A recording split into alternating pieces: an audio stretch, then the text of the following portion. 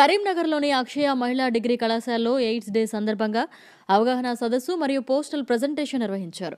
ఈ కార్యక్రమంలో కళాశాల చైర్మన్ వి రవీందర్ రెడ్డి ముఖ్య అతిథిగా హాజరై మాట్లాడుతూ ప్రజలలో అవగాహన పెంపొందించడం ద్వారా ఎయిడ్స్ వ్యాధిని నిర్మూలించవచ్చని ఆయన అన్నారు. అనంతరం ఉపన్యాసాల పోటీల్లో పోస్టర్ ప్రజెంటేషన్లో గెలుపొందిన విద్యార్థులకు బహుమతులు ఇచ్చి అభినందించారు. ఈ కార్యక్రమంలో కళాశాల principal G Shailaja vice principal P Tirupati అధ్యాపకులు విద్యార్థులు తదితరులు పాల్గొన్నారు.